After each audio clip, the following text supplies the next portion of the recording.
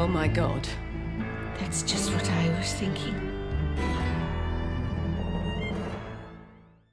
I telephoned this place thinking you might have been idiotic enough to come back here, but of course the staff are about as useful as a chocolate teapot. You came all this way to help me.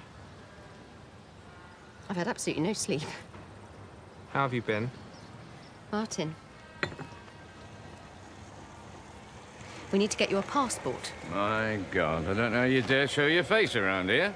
I beg your pardon? You know what he means.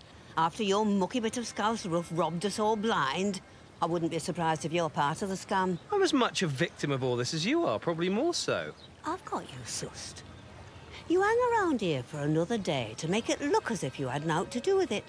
But come tomorrow, you'll be on a yacht in the middle of the Med, divvying up the spoils. I hardly think there'll be much to divvy up stealing from these people. You keep your nose out. And another thing you... Well, well, well, look who it is. I beg your pardon? Come on, Kate, let's go. He gets rid of one old slapper and you come crawling back while the sheets are still warm. Uh, forget it, Madge. Let's go get Wait a a minute. Now listen to me, old woman.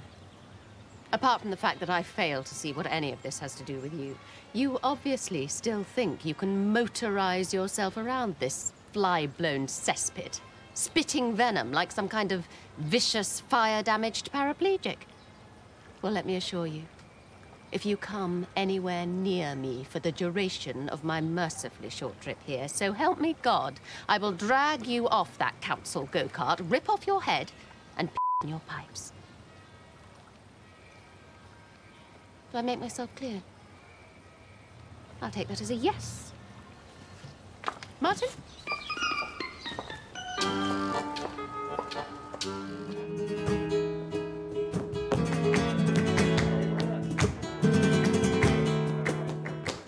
This is very authentic. Yes, isn't it wonderful? It really is. Here's to us. I mean, to all of us.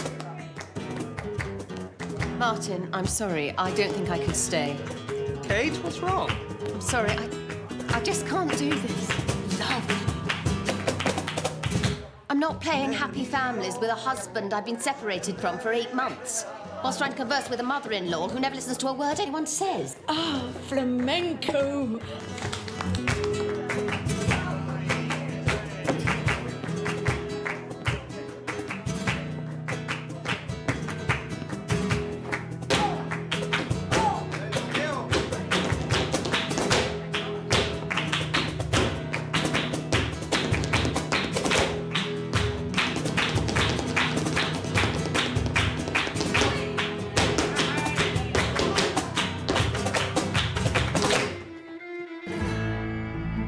Oh my God.